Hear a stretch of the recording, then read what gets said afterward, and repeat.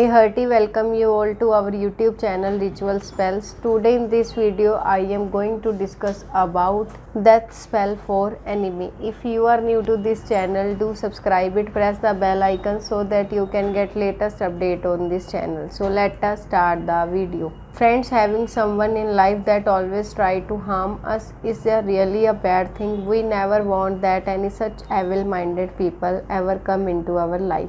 Does your enemy create problems in your life? Do you want him or her to go out of your life? Do you also want a life free from evil people? Do you want your enemy to face the same problem which they have created for you? If yes, then today in this video I am sharing to discuss that spell for enemy. Ingredients to perform the spell we required some ingredients 1 green chili, 2 cloves, black cloth, black thread, vermilion. Procedure This powerful procedure should be done on Tuesday night of Krishan Paksh. Take the green chili and cut it into two halves. Now take one black cloth and put the green chili. Now take the sprinkle some vermilion on it. Now take cloves, purse them into the green chili.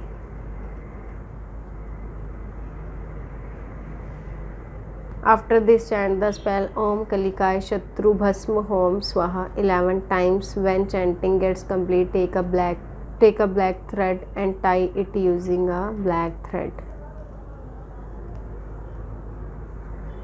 Throw this bundle in the enemy is any property. Here this spell is complete and it will start showing it the result is very less time. However, I will recommend you follow some precaution to get the result. Always make sure that there is a genuine reason behind using the death spell. The spell should have to chant very carefully.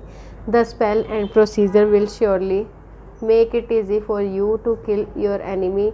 Use it carefully to get the best result and live your life as you want it be your enemy never come back in your life in case there is any doubt or query about spell or anything else you can call or whatsapp guruji on the number given in the video his contact details are in the description box also. He will give you the answer to your every question and do every possible thing to end your problem. If you found this video useful then do not forget to like and share to help others along with yourself. Thank you and take care